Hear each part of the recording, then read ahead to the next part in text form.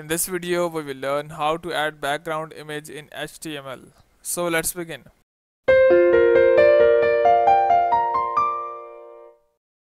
So to add an image in the background I will just go and uh, show you how to add an image in the background. For that I would just go and create a small HTML file. So I would just go and name it as 2.html and here it is. I would just go and open it with notepad or you can just go and open it with any other editor you want.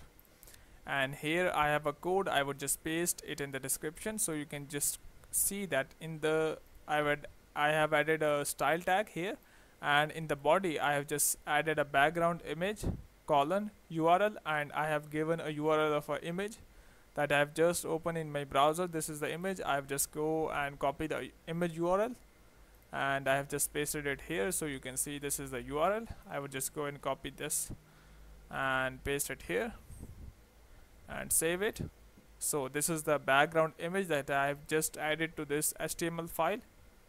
So I would just go and open this HTML file in the browser. So you can see that I have just added the image in the background and you can just go and add anything in the body. For example I'm going to add uh, h1